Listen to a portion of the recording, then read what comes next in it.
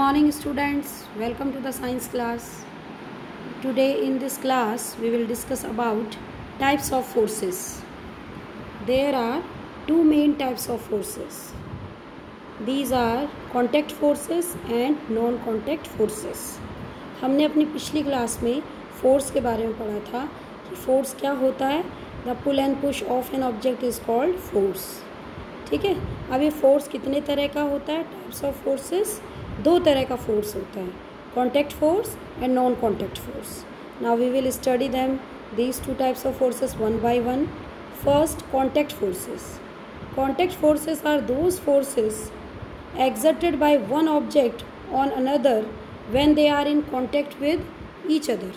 Contact forces वो forces होते हैं जो कि एक ऑब्जेक्ट के द्वारा दूसरे ऑब्जेक्ट पे लगाया जाता है और जब वो दो ऑब्जेक्ट एक दूसरे के कांटेक्ट में हों तो एक फोर्स एक ऑब्जेक्ट के द्वारा दूसरे ऑब्जेक्ट पर लगने वाला फोर्स जब दोनों ऑब्जेक्ट कांटेक्ट में होते हैं, उस फोर्स को बोलते हैं कॉन्टैक्ट फोर्सेस कॉन्टैक्ट फोर्सेस को फिर से हम दो कैटेगरी में डिवाइड करते हैं. Contact forces are further of two types muscular force and force of friction दो तरह का होता है, एक मस्कुलर फोर्स होता है, एक फोर्स ऑफ़ फ्रिक्शन होता है, जिसको कि हम आगे पढ़ेंगे डिटेल से.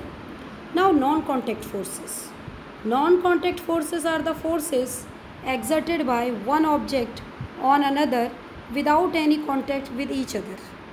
अगर दो एक ऑब्जेक्ट दूसरे ऑब्जेक्ट के लिए, दूसरे ऑब्जेक्ट के साथ कोई फोर्स लगा रहा है और दोनों के बीच कोई कांटेक्ट नहीं है तो हम इस तरह के फोर्स को कहते हैं नॉन कांटेक्ट फोर्सेस जब दो ऑब्जेक्ट के बीच कांटेक्ट नहीं होता है और एक ऑब्जेक्ट के द्वारा दूसरे ऑब्जेक्ट पे जो फोर्स लगता है, उसको हम नॉन कॉन्टैक्ट फोर्स कहते हैं।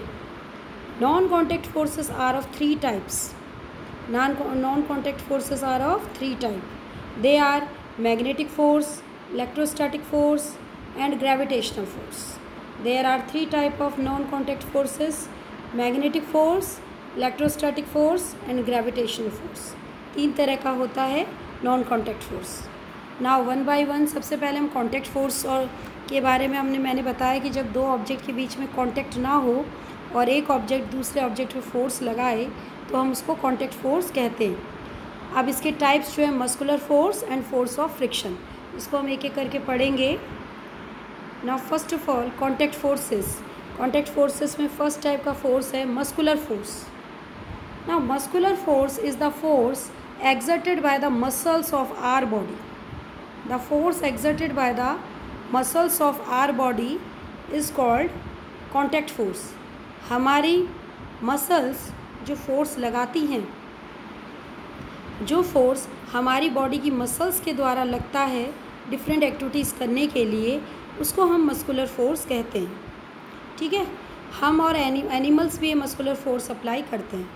जैसे हमें बहुत सारे एक्टिविटीज़ हम करते हैं मस्कुलर फोर्स अप्लाई करते हैं, जैसे इन पिक्चर्स में दिखा है साइकिलिंग कर रहे हैं एथलीट जब दौड़ रहा है, तब भी मस्कुलर फोर्स का यूज़ हो रहा है मसल्स का यूज़ हो रहा है हमारी। ठीक है गेम खेलने के दौरान जब हम लिखते हैं तो अपने हाथ की मसल का यूज़ करते हैं।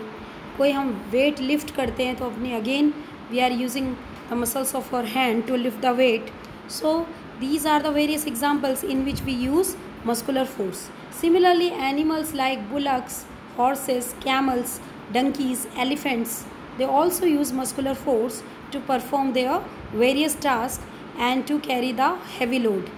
ये डिफरेंट एनिमल्स भी अपने मस्कुलर फोर्स का यूज़ करते हैं अपने टास्क पूरा करने के लिए और साथ में जो है लोड कैरी करने के लिए भी ये मस्कुलर फोर्स का यूज़ लगाते हैं ठीक है डिफरेंट तरह के बुलक्स हैं जो हॉर्सेस और जो डिफरेंट बुलक कार्ट्स हैं डंकी कार्ट हैं उसमें जो है बोझ उठाने के लिए वो मस्कुलर फोर्स का यूज़ करते हैं। कैमल काट है तो जैसे पिक्चर में दिखाया है तो अपने मसल्स का यूज़ करते हैं उस बोझ को उठाने में। सो कॉन्टेक्ट फोर्स है। यहाँ आप देख रहे हो कि हम अगर साइकिलिंग कर रहे हैं तो हमारा और साइकिल के बीच में जो है, दो ऑब्जेक्ट हैं, उनके बीच में कांटेक्ट होना बहुत ज़रूरी है। अगर हम फोर्स लगाएँगे, अपनी मसल्स का फोर्स लगाएँगे, तभी वो ऑब्जेक्ट अपनी जगह से हिलेगा। So in this way to carry out all these activities there must be contact between the object between two object दो ऑब्जेक्ट्स के बीच में कॉन्टेक्ट होना बहुत ज़रूरी है। तभी जो है कॉन्टेक्ट फोर्स एग्जिस्ट करता है। बिना इसके नहीं होगा। ओके नाउ जो नेक्स्ट टाइप का जो फोर्स है, वो है force of friction force of friction यह भी एक तरह का कॉन्टेक्ट फोर्स है। ठीक है? Force of friction is the force which opposes the motion of an object over a surface कोई भी चीज़, जब हम चलते हैं या हम लिख रहे हैं या हम किसी भी चीज़ को पकड़ रहे हैं तो वहाँ पर फोर्स ऑफ़ फ्रिक्शन की रिक्वायरमेंट होती है। फ्रिक्शन के बिना हम चल नहीं सकते। फ्रिक्शन के बिना ना ही हम किसी चीज़ को पकड़ सकते हैं। फ्रिक्शन के बिना ब्लैक बोर्ड पे या कॉपी पे भी कोई चीज़, कोई भी हम कुछ लिखना चाहें तो हम नहीं लिख सकते। तो दो सरफेस जब कांटेक्ट में आते हैं तो फोर्स ऑफ़ फ्रिक्शन ज़रूरी होता है। और फोर्स ऑफ़ फ्रिक्शन किसी भी ऑब्जेक्ट जो मूव कर रही है, उसके अपोजिट डायरेक्शन में फोर्स ऑफ़ फ्रिक्शन लगता है। और फोर्स ऑफ़ फ्रिक्शन ज़रूरी भी है, क्योंकि अगर फोर्स ऑफ़ फ्रिक्शन नहीं होगा तो कोई ऑब्जेक्ट चलती ही जाएगी, वो रुकेगी नहीं। तो फोर्स ऑफ़ फ्रिक्शन उस ऑब्जेक्ट को रोकता है। ठीक है? ये फोर्स ऑफ़ फ्रिक्शन सरफेस के बीच की इरेगुलरिटीज़ होती हैं, जो कि दो सरफेस के बीच में बीच में कांटेक्ट होने पर एग्जिस्ट होता है। ना जैसे हम चल रहे हैं रोड पे चल रहे हैं तो हमारी ग्रिप अच्छी बन रही क्योंकि फोर्स ऑफ़ फ्रिक्शन है। कई बार ऐसा होता है कि आप किसी मॉल में गए या किसी, कोई ऐसी जगह गए जहाँ टाइल्स हैं या कुछ ऐसा फ्लोर है कि काफ़ी उसमें हमें कहीं काफ़ी स्मूथ फ्लोर है। काफ़ी स्मूथ फ्लोर है, आपको चल वॉकिंग में बड़ी दिक्कत होती है। ओके क्यों? क्योंकि फोर्स ऑफ़ फ्रिक्शन बहुत कम है। इस वजह से फोर्स ऑफ़ फ्रिक्शन कम होने की वजह से हम वॉक नहीं कर पाते हैं। और देर में भी chances of we can say accidents ऐसे में एक्सीडेंट्स के चांसेस रहते हैं। इसी तरह से रोड में व्हीकल्स आराम से चल लेते हैं क्योंकि व्हीकल्स के जो टायर्स हैं, उनमें ग्रुप्स बने रहते हैं। इससे फोर्स ऑफ़ फ्रिक्शन जनरेट होता है और रोड जो है, वो भी कोर्स होती है, खुरदरी होती है और उनकी पकड़ अच्छी बनती है। अगर रोड रोड एकदम स्मूथ हो जाएगी तो क्या होगा? फोर्स ऑफ़ फ्रिक्शन बहुत कम हो जाएगा और एक्सीडेंट होते रहेंगे। तो फोर्स ऑफ़ फ्रिक्शन बहुत ज़रूरी है। यह एक कॉन्टेक्ट फोर्स है, जो कि दो ऑब्जेक्ट के कॉन्टेक्ट में आने पर जनरेट होता है और ये हमेशा एक ऑब्जेक्ट के मूवमेंट के अपोजिट डायरेक्शन में लगता है। Now a ball roll rolling on ground gradually slows down and comes to rest due to force of friction एक बॉल ग्राउंड में जा रही है और चलते चलते अचानक वो रुक जाती है। क्यों? क्योंकि फोर्स ऑफ़ फ्रिक्शन उसको रोकता है। ग्राउंड में जो फोर्स ऑफ़ फ्रिक्शन है ग्रासेस या जो वी कैन से सैंड है, उसके पार्टिकल्स उसको फोर्स ऑफ़ उसकी बॉल के पार्टिकल्स के बीच में इंटरलॉकिंग कर लेते हैं और इस वजह से वो बॉल को रोकते हैं। तो फ्रिक्शन के कारण बॉल रुक जाती है। अगर फोर्स ऑफ़ फ्रिक्शन नहीं होगा तो कोई भी चीज़ चलती ही रहेगी। Similarly if you stop pedalling a bicycle it gradually slows down and comes to rest due to force of friction okay in cycling if we stop pedalling then we will stop why because due to force of friction ये force of friction उस condition में बढ़ जाता है और इस वजह से हम रुक जाते हैं। तो फोर्स ऑफ़ फ्रिक्शन क्या हुआ? वो फोर्स जो दो ऑब्जेक्ट्स के कांटेक्ट में होने पर उस किसी भी ऑब्जेक्ट के मूवमेंट को रोकता है, उसको हम फोर्स ऑफ़ फ्रिक्शन कहते हैं। ओके? नाउ नेक्स्ट है non contact forces non contact forces हमने भी पढ़ा मैंने आपको बताया था कि दो सरफेसेस जब कांटेक्ट में नहीं आते और जो फोर्सेस जनरेट होते हैं उसको हम बोलते हैं नॉन कांटेक्ट फोर्स बिना कांटेक्ट में आने पर बिना दो ऑब्जेक्ट बिना कांटेक्ट में आ, आए ही जब एक ऑब्जेक्ट दूसरे ऑब्जेक्ट पर फोर्स लगाए तो उसको क्या बोलेंगे? नॉन कांटेक्ट फोर्स बोलेंगे. नॉन कांटेक्ट फोर्स के एग्जांपल है मैग्नेटिक फोर्स पहला एग्जांपल है मैग्नेटिक फोर्स मैग्नेट में क्या होता है? दो मैग्नेट एक दूसरे के एकदम कांटेक्ट में नहीं आते, दूर से ही एक मैग्नेट या तो दूसरे मैग्नेट को अट्रैक्ट करता है या उसको वो रिपेल करता है, या तो उसके पास आता है या दूर जाता है। और आपको पता है कि सिमिलर पोल्स जो होते हैं, वो हमेशा रिपेल करेंगे और अपोजिट पोल्स जो होते हैं, वो अट्रैक्ट करेंगे opposite poles so the magnetic force is the force exerted by magnets magnetic force वो फोर्स है जो मैग्नेट एग्जर्ट करते हैं। Force of attraction and repulsion between two magnets ठीक है? जो मैग्नेट्स के बीच में जो अट्रैक्शन और रिपल्शन फोर्स होता है, वो एक मैग्नेटिक फोर्स का एग्जांपल है okay the force exerted by a magnet on a piece of iron और स्टील नाउ जैसे यहाँ पे फिगर में दिखा रखा है कि ये नॉर्थ और साउथ पोल है अपोजिट पोल्स हैं, इसलिए इसमें जो फोर्स लगेगा फोर्स ऑफ़ अट्रैक्शन होगा। दोनों एक दूसरे के नियर आएँगे। ओके?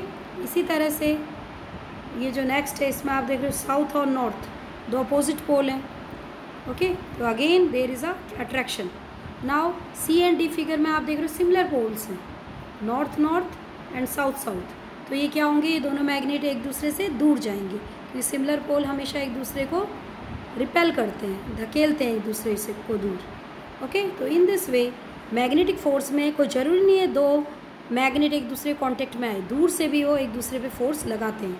तो ये एक नॉन कॉन्टेक्ट फोर्स का एग्जांपल है मैग्नेटिक फोर्स इसी तरह से अगर कोई मैग्नेट जो है आयरन या स्टील पे फोर्स लगाता है तो दूर से ही वो आयरन ऑब्जेक्ट्स को अपनी तरफ़ खींच लेता है। या हम ये कहें कि वो दू यस आयरन ऑब्जेक्ट्स को अपनी तरफ़ वो खींच लेगा आयरन या स्टील ऑब्जेक्ट्स को। तो that is also a magnetic force वो भी एक मैग्नेटिक फोर्स है। तो इस तरह से मैग्नेटिक फोर्स एक नॉन कॉन्टेक्ट फोर्स है।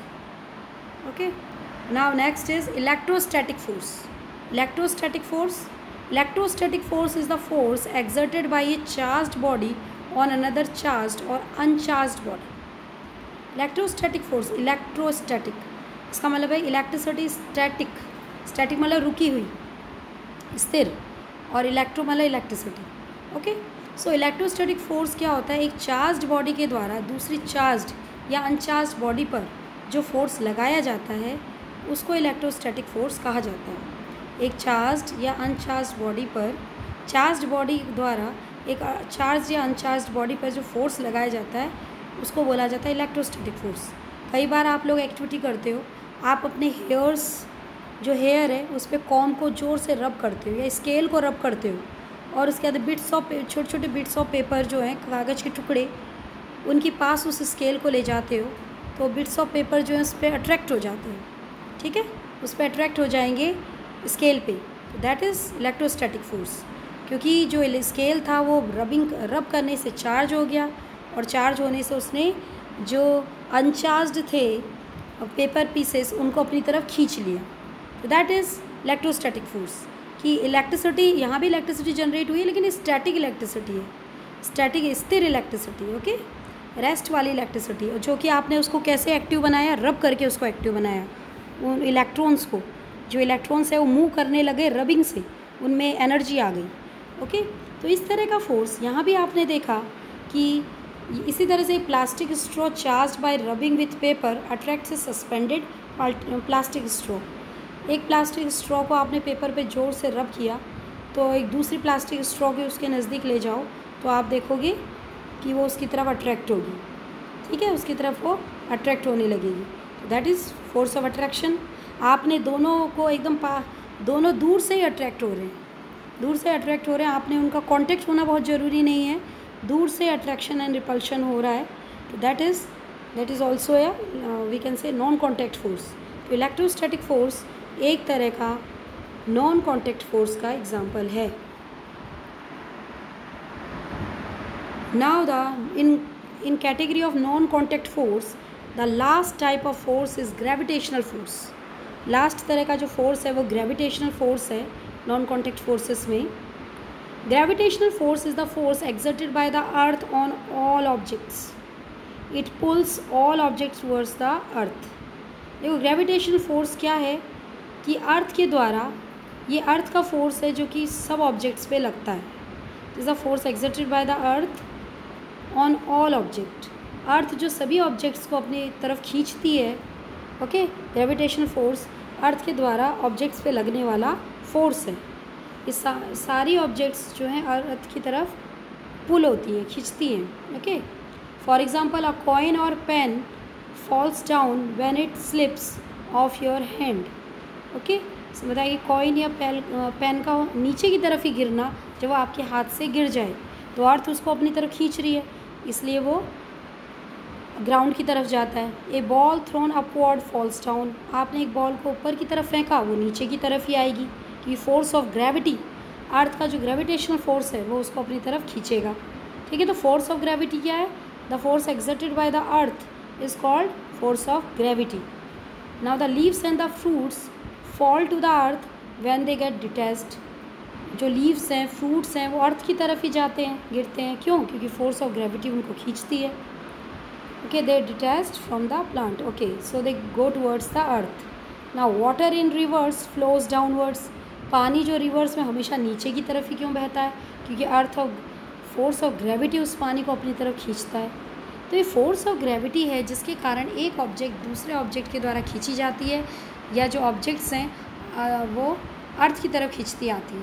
It is due to the gravitation force of the earth अगर फोर्स ऑफ़ ग्रेविटी नहीं होगी तो हम अर्थ से बधे हुए भी नहीं रहेंगे।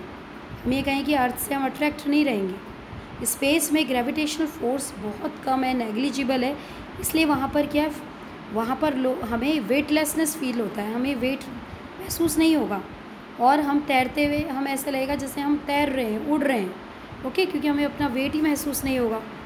और कोई भी चीज़ जो है, वहाँ ग्रेविटी नहीं होने के कारण जो है फ्री फॉल होगा वहाँ पर हम ये कहेंगे कि वेटलेसनेस है उधर, ओके स्पेस में।